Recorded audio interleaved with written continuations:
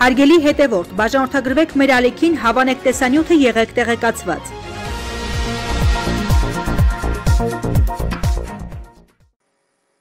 Սիրելի հավատացյալ եղբայրներ եւ քույրեր, սիրելի հայ որդիկ, նախ կուզեմ, որ անմիջապես միանաք ինձ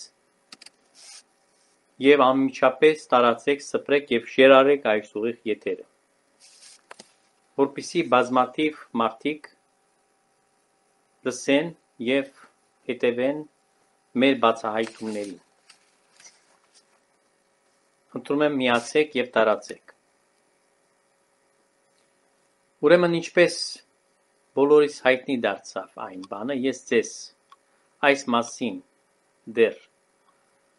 իրազեկել է այն օրերին, երբ որ Պարքև arczepiskopos Մարտիրոսյան Արցախի թեմի առաջնորդը փախավ Ամերիկայի Միացյալ Նահանգներ, այսինքն թողնելով այս ծանրագույն վիճակը, որ ստեղծվեց Արցախում, նա պատճառաբանելով իր հիվանդությունը գնաց մինչև Ամերիկա եւ այնտեղ ձևացավ որ նա հիվանդ է եւ այլն, բայց իրականում իրականում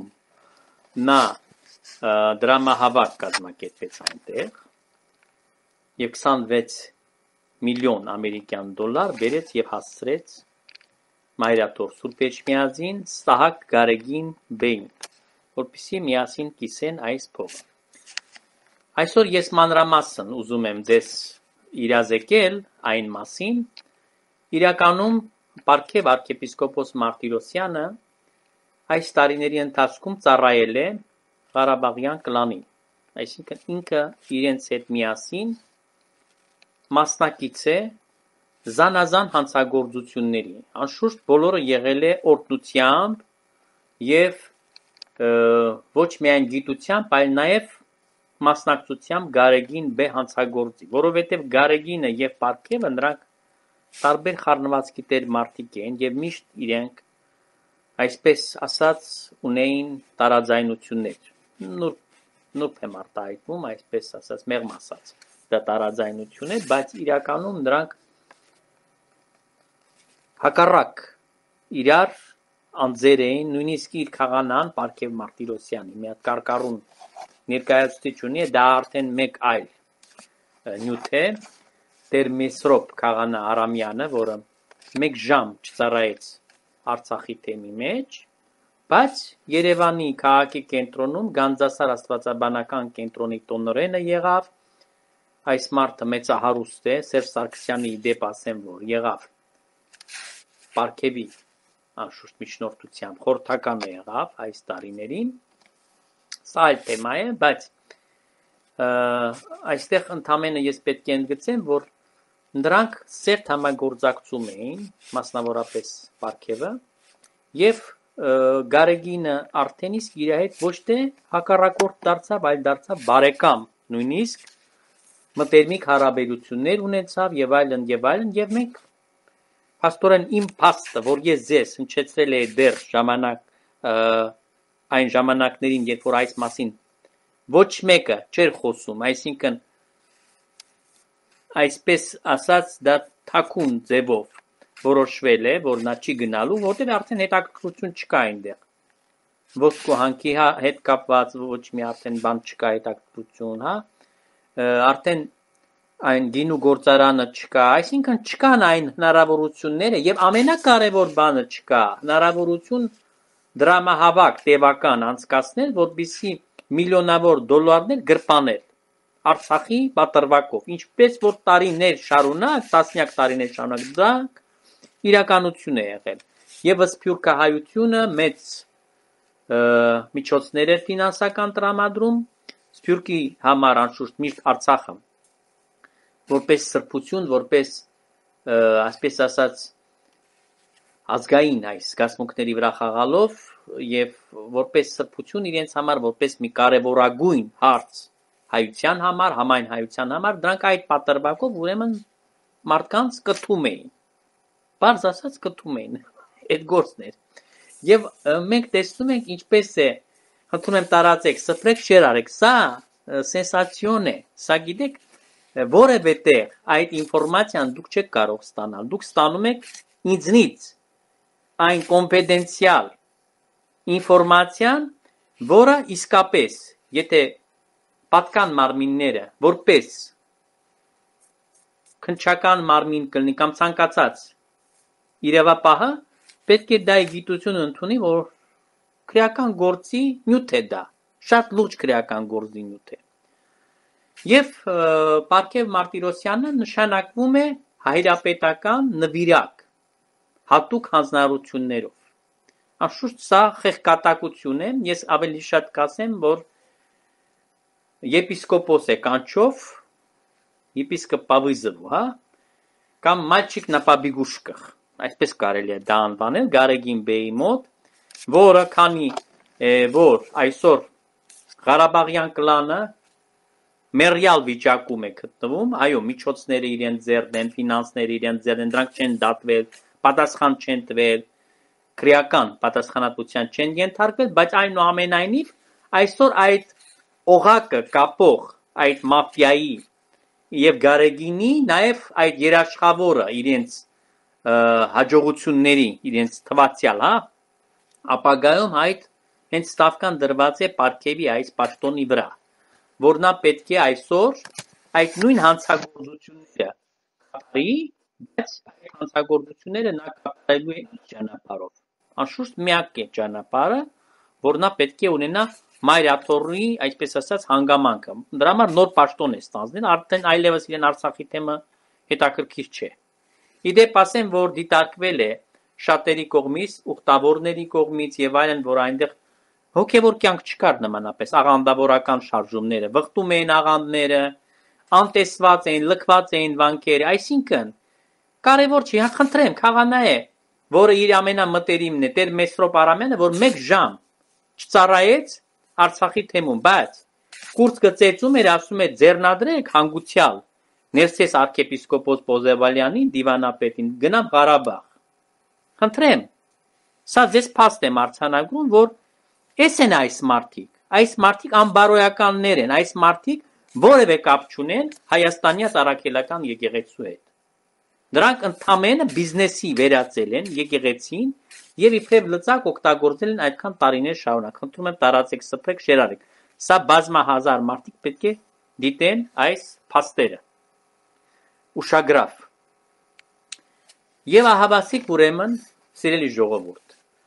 ձեզ հանձնելով այս կարևորագույն նյութերը, որոնք պետք է դառնան իսկապես իրավապահների համար այն անկյունակարը այդ կծիկը մաֆիայի, այդ սպրուտը քանդելու էջ միացնում։ Որ առնչվել է Ղարաբաղյան կլանը եւ եկեղեցին սերտաճած են եղել, որ Ղարաբաղյան կլանի կարկառուն ներկայացուցիչները բոլոր քրեաօլիգարխները, բոլոր պետական այս հանցագործները, որոնք իբրև նախագահներ եւ այլն հանդես են եկել այսպես ասած իրենց պաշտոնները իրենց համար վահան ամրության են եղել, պատսպարվել են այս հանգամանքի տակ եւ գործել են ուղակի տնտեսական հանցագործություններ, կողոպտել են, կողոպուտ են արել։ Սփյուռքի ժողովրդին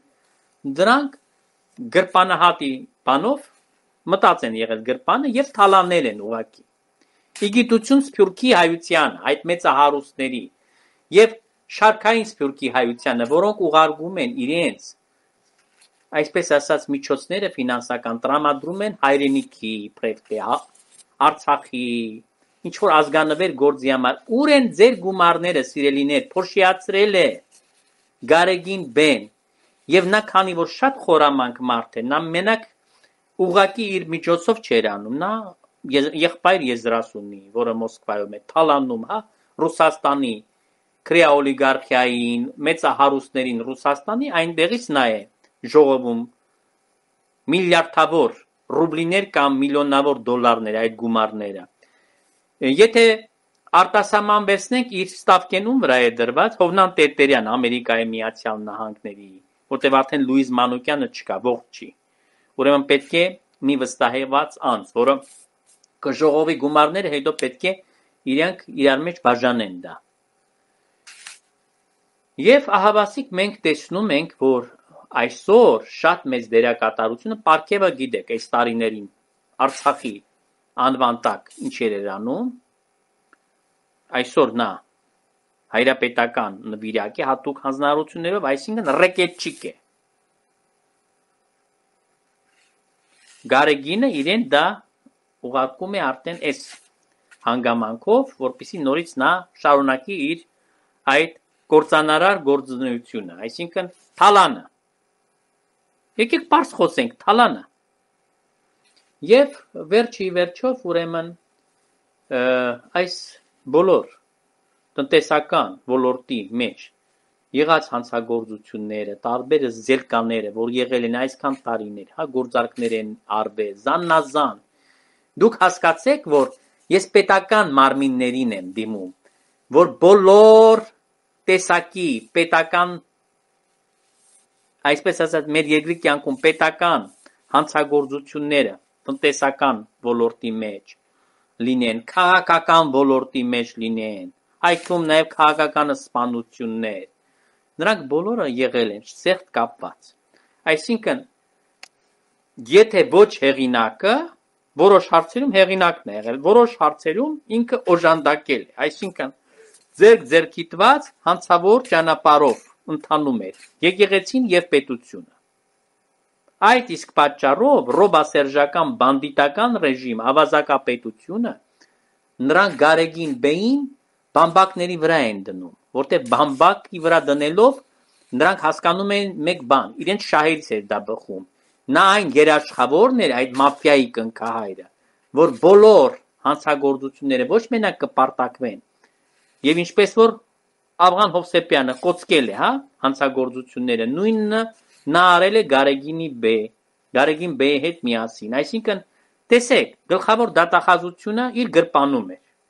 Ավղանի հետ նա ցանկացած բան անում էր, ծածկում էր։ Ծածկադմփոց էր անում։ Ինչ որ արել է իր եղբոր որդին որպես դատախազ արմավիրում։ Ինչքան որ այլանդակություններ են եղել, հա?